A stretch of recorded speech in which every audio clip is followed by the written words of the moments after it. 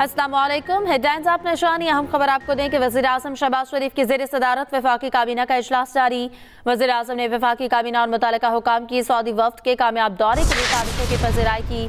وزیر اعظم کا کہنا ہے کہ سعودی ولی عہد کے مشکور ہیں۔ میرے حالیہ دورے کے بعد ان کی خصوصی دلچسپی کے تحت سعودی وفد نے پاکستان کا دورہ کیا۔ سعودی وفد پاکستانی وزراء اور حکام کی تیاری سے متاثر ہوا اور سعودی وزیر خارجہ نے اس کا برملا اظہار کیا۔ ہمیں اسی طرح محنت اور لگن سے اس سرمایہ کاری کی پاکستان میں آمد اور منصوبوں کی تکمیل یقینی بنانا ہے۔ اس حوالے سے نہ تو پرانے طریقہ کار پر چلنے کی گنجائش ہے اور نہ میں اس کی اجازت دوں گا۔ وزیر اعظم شہباز شریف کی زیر صدارت وفاقی کابینہ کا اجلاس جاری ہے اور وزیر اعظم نے وفاقی کابینہ اور متعلقہ حکام کی سعودی وفد کے کامیاب دورے کے لیے کاوشوں کی پذیرائی بھی کی ہے۔ وزیر اعظم کا کہنا ہے کہ سعودی ولی عہد کے مشکور ہیں۔ میرے حالیہ دورے کے بعد ان کی خصوصی دلچسپی کے تحت سعودی وفد نے پاکستان کا دورہ کیا۔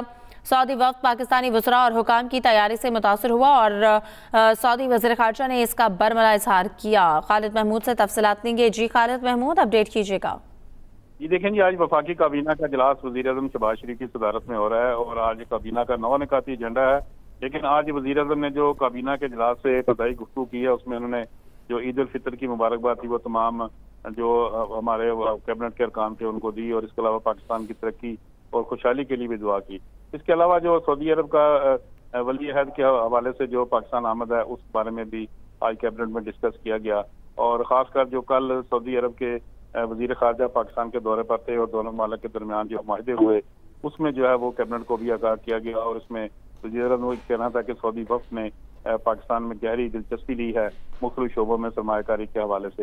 اس کے علاوہ وزیر اعظم نے وفاقی کابینہ اور متعلقہ کام کی جو سعودی وفد کے کامیاب دورے ہیں ان کی کاوشوں کی جو وزیر آئی ہوئی اس کا بھی اس کیبنٹ کے اجلاس میں کیا۔